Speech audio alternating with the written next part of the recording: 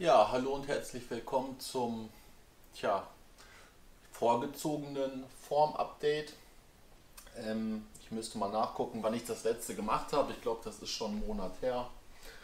Ähm, ja, vorgezogen deswegen, weil ich eigentlich vorhatte, dieses Update erst zu machen, irgendwann Ende des Jahres, nachdem ich wirklich nochmal gut ähm, ja, Fett abgebaut habe. Und ähm, ja, ich, gleich vorweg, ähm, das Form-Update, wo ich meine Form zeige, wird es hinten dran geben, weil meine Freundin jetzt eben schon weg musste. Deswegen haben wir das jetzt eben schon gefilmt. Wenn ich jetzt einiges doppelt sage, dann entschuldigt das bitte. Aber vielleicht, ähm, ja, ich weiß, ich habe aktuell eine, bin zufrieden mit der Form, aber gleichzeitig bin ich auch sehr traurig, weil ich mir vorgenommen hatte, ja, die beste Form meines Lebens zu erreichen. Und ich weiß, das lief gerade so super, dass da wäre noch einiges mehr drin gewesen. Ich habe mich heute schon gewogen, ich wiege noch 99,5 Kilo. So vom Gefühl her hätte ich gesagt, deutlich weniger. Also es hat mich positiv gestimmt, dass ich bei ähm, ja, der Form jetzt noch so viel auf die Waage bringe. Und ähm, ja, vorgezogen deswegen, gestern war der letzte Tag, wo ich noch trainieren durfte. Ab heute gilt wieder 2G im Gym. Das heißt, Leute wie ich sind da nicht mehr erwünscht oder ihnen ist es verboten zu trainieren. Und ähm, ja, ich möchte noch mal ganz kurz die Gelegenheit nutzen, Revue passieren zu lassen. Ich war im Anfang des Jahres, so April, bei 87 Kilo, kann man auch hier noch nachsehen. Das war mein erstes Formupdate, glaube ich. Und ich war wirklich sehr abgemagert, acht Monate ohne Training, ohne vernünftige Ernährung und so weiter. Ich war wirklich, ich wüsste nicht, wann ich mal so wenig gewogen habe, wirklich. Man sieht, dass ich verspindeldür. Und jetzt schreiben wir November. Ich bin auf 99,5 Kilo hoch, habe wahrscheinlich so, weiß ich nicht, 10 Kilo Muskeln wahrscheinlich aufgebaut wieder, was echt gut funktioniert hat. Ich habe immer probiert, das Training zu optimieren, an den Schwachstellen zu arbeiten, was wirklich gut funktioniert hat. Ich war auch super motiviert, habe immer fast durchgezogen. Die Tage, wo ich keinen Bock hatte zu trainieren, die kann ich an einer Hand abzählen.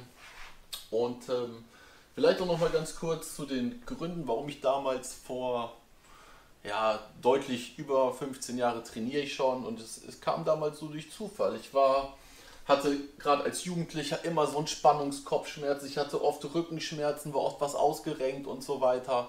Und ich bin dann durch Zufall damals über meine Mutter zum Krafttraining gekommen, dass es da so einen Probemonat im Gym in meiner Heimat gab. Und ich habe gemerkt, ey, das macht mir richtig Spaß, ich habe schnell Erfolge erzielt und ich habe gemerkt, die Kopfschmerzen äh, werden besser, beziehungsweise ich habe immer seltener Kopfschmerzen. Dem Rücken, meiner Haltung und so weiter tut es gut und bis heute muss ich sagen, außer vielleicht, wenn man zu wenig zu viel trinke, was selten vorkommt, habe ich eigentlich nie mit Kopfschmerzen Probleme. Das kenne ich gar nicht mehr. Und ich merke einfach, wie mir dieser Sport gut tut, wie ich ihn lieben gelernt habe und wie er auch beim Körper ähm, ja, gut auf andere sportliche Aktivitäten quasi vorbereitet, beziehungsweise wie ich mehr Power bei allen anderen Sportarten habe. Und ähm, ja, für mich ist Bodybuilding, Fitness, Krafttraining wie so ein, weiß nicht, wie andere ihr, ihre Yoga machen, meditieren, ist das für mich der Weg, den Kopf mal frei zu bekommen und ähm, ja, mich ganz auf mich, auf meinen Körper zu konzentrieren. Und äh, wenn ich das jetzt wieder nicht habe, weiß ich, das wird wieder eine sehr schwere Zeit. Das war eine sehr schlimme Zeit letztes Jahr, wo ich nicht trainieren konnte. Ne, man hat es körperlich gesehen und natürlich auch psychisch. Und ich hoffe, dass das nicht wieder so wird. Aber ja, ich habe es schon oder habe es schon im End, was man später sieht, gesagt. Ich habe jetzt ein paar Sachen hier fürs Home Gym, aber die Motivation ist halt einfach nicht mehr so stark, hier für mich zu trainieren, wo, wo ich schon weiß, ich kann den körperlichen Verfall einfach nur langsamer machen, ein bisschen aufhalten. Und ich habe die Hoffnung, dass diese 2G-Regel nicht ganz so lange gilt und ich bald wieder trainieren darf. Aber ja, eigentlich bin ich doch nicht optimistisch, wenn ich so drüber nachdenke. Auf jeden Fall wollte ich ganz kurz sagen, wie ich jetzt zuletzt ähm, trainiert und mich ernährt habe.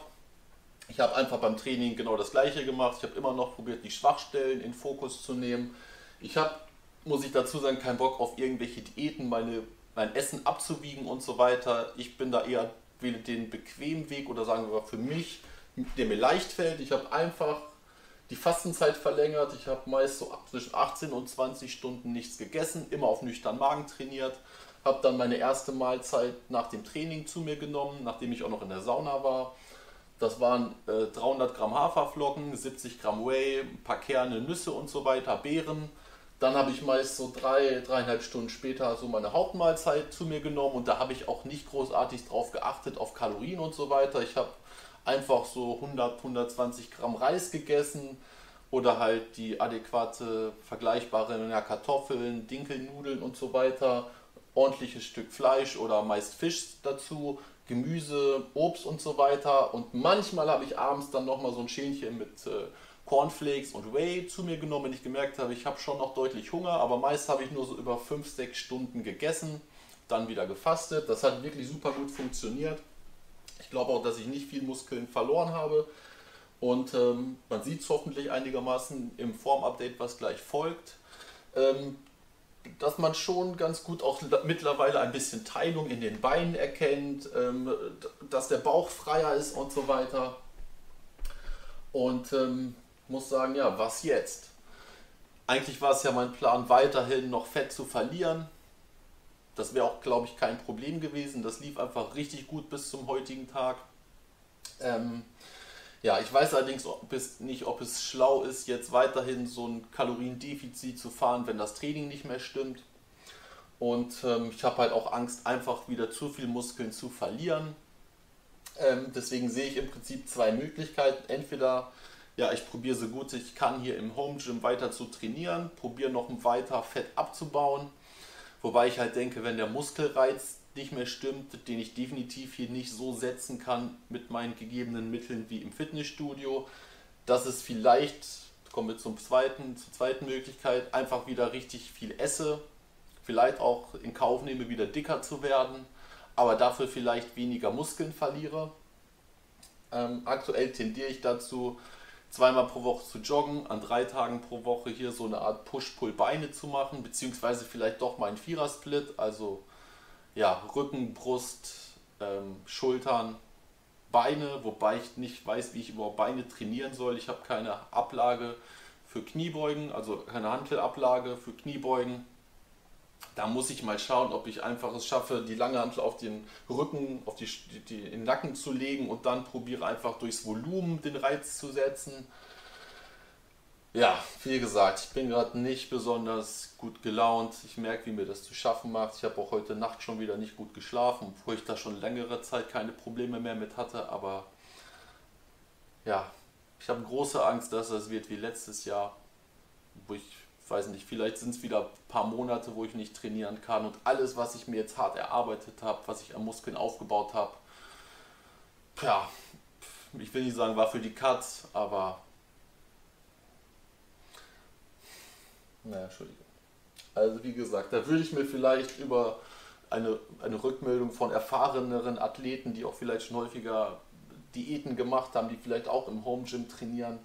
Wie gesagt, ich glaube, wenn ich wirklich das Trainingspensum hier im Home Gym durchziehe, wie ich es auch im Gym gemacht habe, dann kann ich wahrscheinlich sehr lange dem Verfall entgegenwirken. Aber die Motivation, die Motivation ist einfach nicht so hoch. Und ähm, ja, wie gesagt, deswegen, ich bin äh, zufrieden mit dem Erreichten, aber dieser Gedanke, da wäre noch viel mehr drin gewesen, der ist gerade stärker. Ja, wie gesagt, ich werde probieren, mich so gut ich kann zu motivieren, aber naja, es wird mir schwer fallen.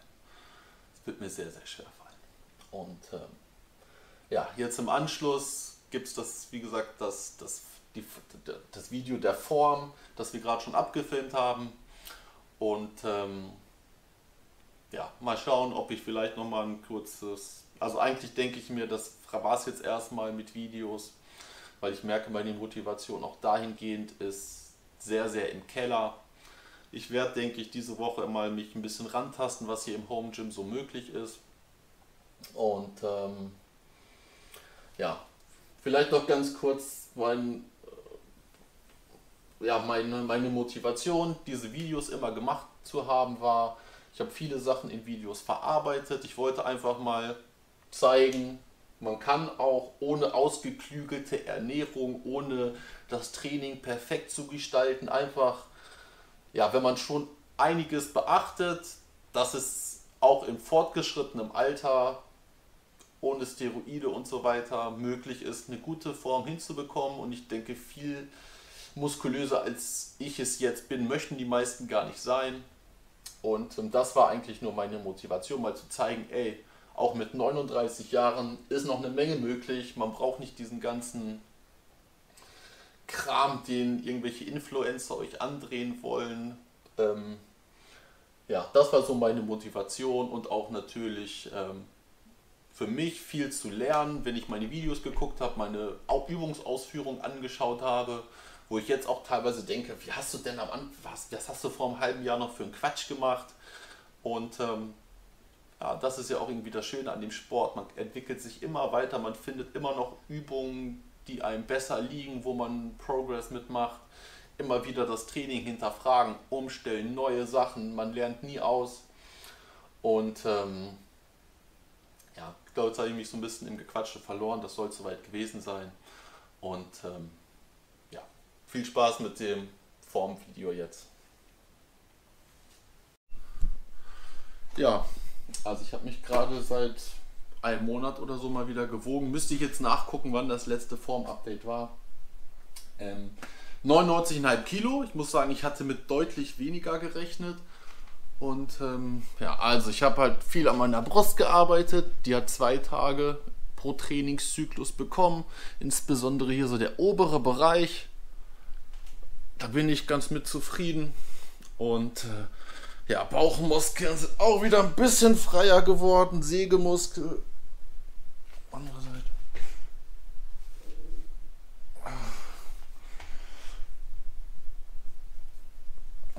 Ja, Schulter habe ich auch dran gearbeitet. Hintere Schulter insbesondere sieht man das ganz gut. Mhm. So mit den, den Fasern. Ja, und wie gesagt, ich weiß, das ist noch nicht. Mach mal lieber von da so ich kann jetzt einigermaßen meinen Rücken anspannen, den Latissimus. Wie gesagt, da kannst du mir vielleicht mal ein paar Tipps geben. Da habe ich immer noch so eine Probleme. Wie soll ich als Neuvin dir da Tipps geben? Naja, sieht man den Latissimus jetzt ganz gut, ist ja. der schön rausgestellt. Ne, auch der Trapez, ja. da habe ich dann gearbeitet. Oh, der Rückenstrecker ist aber massiv, ne? Den habe ich natürlich jetzt gestern nochmal trainiert. Ja, das sieht man ja ganz, ganz extrem, ja. Ja. Oh, da hat es geknackt. Naja, dann habe ich an den Arm gearbeitet. Hier so dieser lange Trizepskopf. Ich finde, der kommt jetzt schon so langsam. Da habe ich gar nicht viel für gemacht. Und ich habe auch angefangen, diesen Bizeps Peak ein bisschen zu trainieren. Einfach mit einem geraden Griff. Okay, gehen wir bitte nochmal zurück ein bisschen. Ich probiere mal so diese von vorne.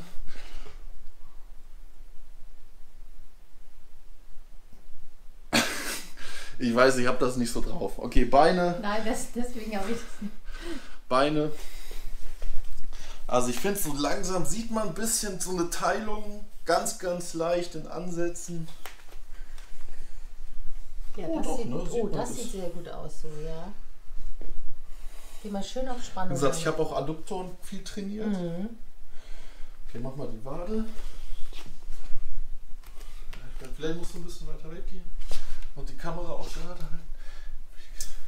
Wie gesagt, ich habe halt immer probiert, den schwachen Trizepskopf in den Fokus zu rücken.